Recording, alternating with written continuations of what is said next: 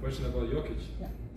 I think coach is gonna is gonna say, but like I, like I, like I told the guys over there, doesn't matter who's who's who's not here. You know, it's all about guys, uh, about this group of guys. You know, whoever's here, whoever's wearing this Serbian jersey. You know, it's uh, we never give up. We fight till the end. It's it's it's in our blood. You know, we have this.